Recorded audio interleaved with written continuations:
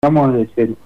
Lo que terminó por pasar fue que, bueno, logramos un convenio donde se firmaron ocho artículos, donde habían una serie de cuestiones a resolver, algunas de las cuales tenían tiempos bien específicos y otras este, no tanto, eran un poco más este, abiertas.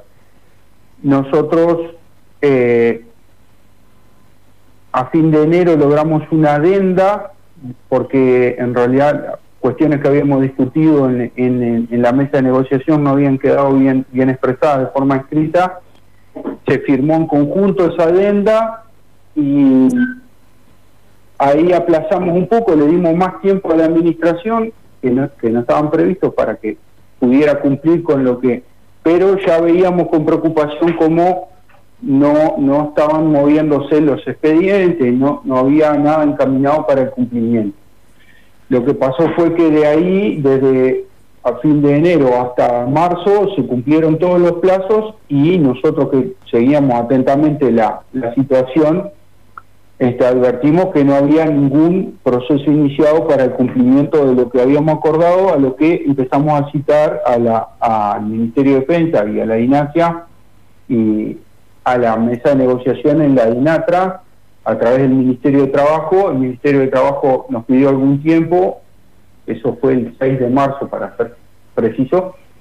Nosotros le dimos algún tiempo al Ministerio de Trabajo vuelto a consultar a ver qué había pasado, el ministerio nos dice que no, que no lograba este tener la, confirmación de las autoridades para la reunión, así que bueno, no quedó más opción que pasarle a la llamar a asamblea y pasarle la información de que no se, no había indicio de cumplimiento alguno y que de, además la no, no había tampoco este, intenciones de sentarse a por lo menos discutir a ver cómo iban a, poner en, práctica el, convenio que habíamos firmado.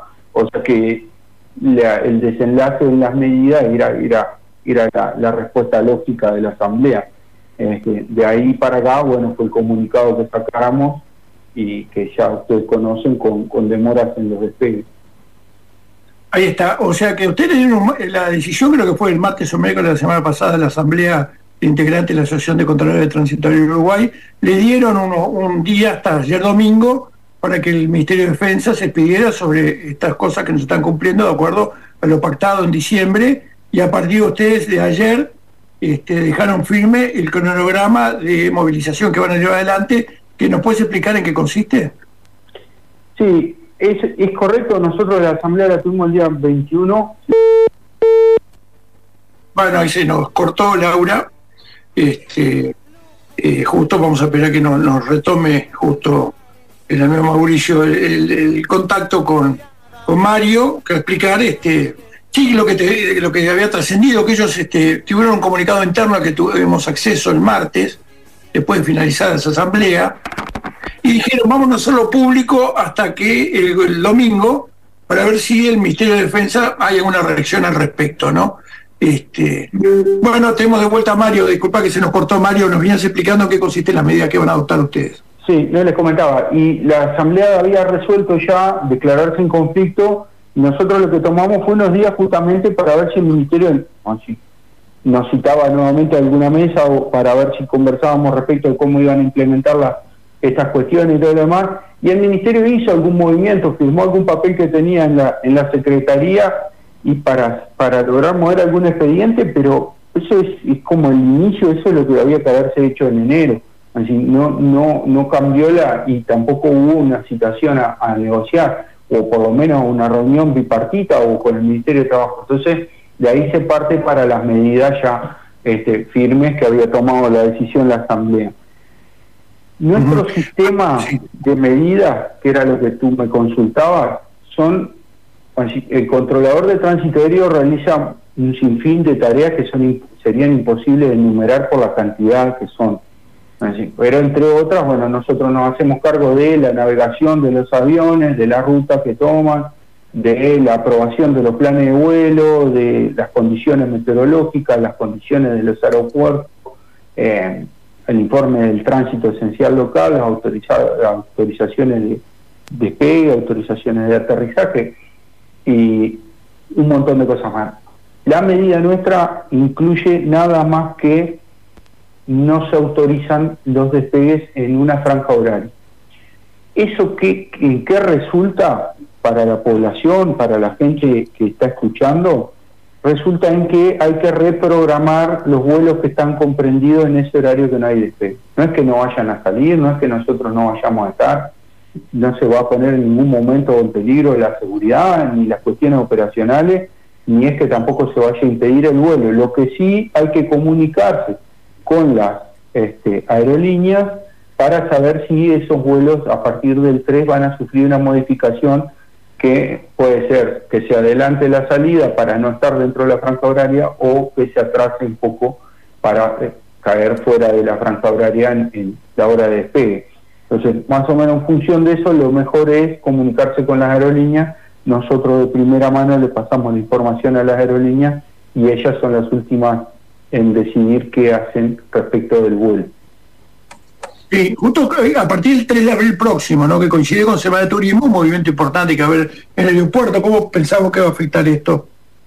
Bueno, la verdad es que nosotros coincide con, con turismo, no es que, no es que lo, lo buscáramos pues, profeso, incluso tan, tanto es nuestro deseo de no, de no impactar de esa forma que una de las cosas que hicimos fue proponer el calendario de no despegue a partir del lunes, porque en Semana de Turismo la mayor cantidad de despegues se va a dar entre el viernes y el domingo.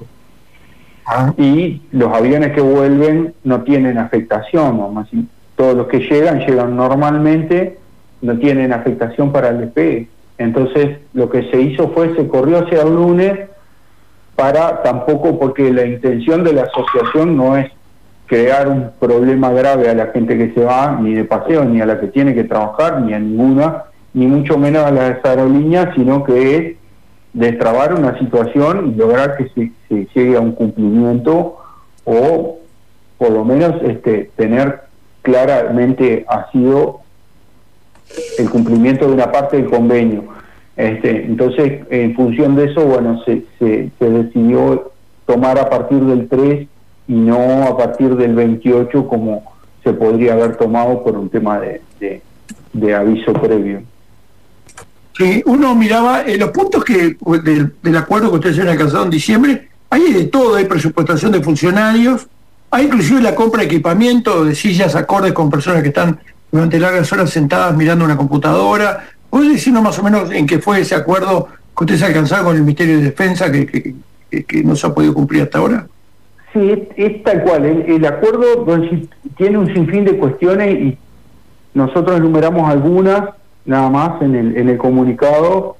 Es mucho más amplio que eso el acuerdo, pero sí, las cuestiones, por ejemplo, nosotros tenemos diferencias en personas que tienen la misma capacitación y cumplen la misma función. Teóricamente soy igual que mi compañero, debería ganar igual. Eso e, es una cuestión y es una reivindicación histórica de, nuestra asociación que lográramos con este acuerdo, este, por lo menos dejar sentadas las bases para terminarla definitivamente esos problemas. La Linacia se comprometió a que podía efectuar la adecuación salarial a partir del primero de enero.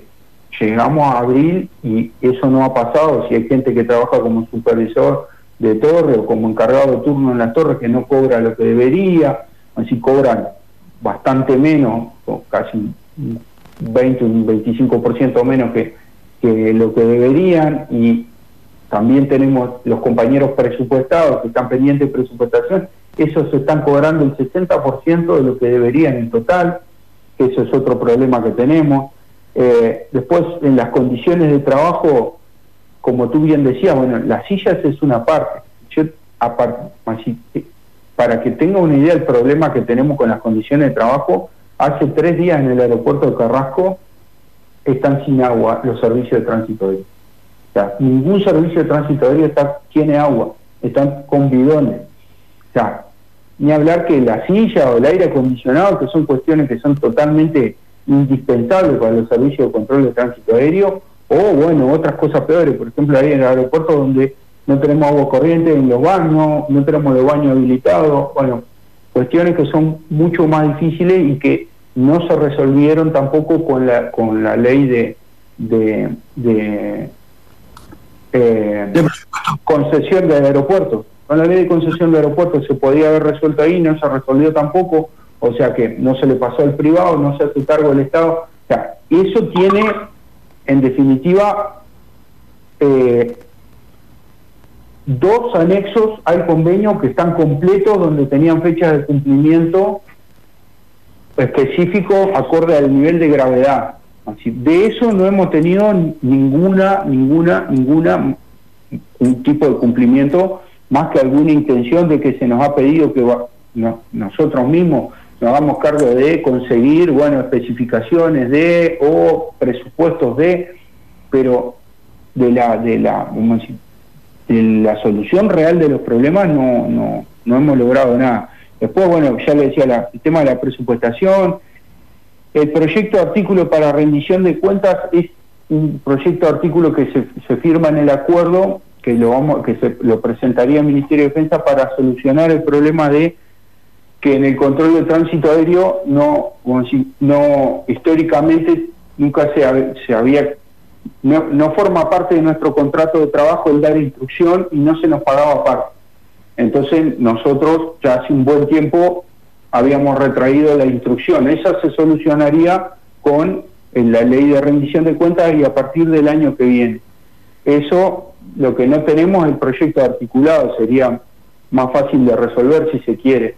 Pero también ahí en ese proyecto hay la necesidad de este, hacernos cargo de solucionar las próximas inequidades, que también necesitábamos presupuesto, porque algún presupuesto la Ignacia tenía, pero necesitaba otro, bueno, eso también está pendiente eh, y no sabemos qué pasó con eso, no, tendríamos que trabajar sobre la letra de eso.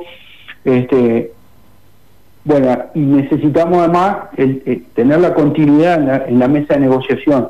No es que yo cierro la mesa y me voy porque hay cuestiones que sí o sí las tenemos que acordar, cuando tiene que ver con la reestructura de la, de la propia dinasia, la carrera del controlador de tránsito aéreo dentro de la dinasia, que debería ser una carrera este, independiente de lo que es la carrera de la función pública administrativa, regulada por el decreto 500, y las cuestiones de eh, la instrucción previa, o sea, los cursos de controladores, los que brinda el Estado en el Instituto de Adiestramiento Aeronáutico, también son muy importantes para nosotros, para el entrenamiento asiduo y para las nuevas generaciones.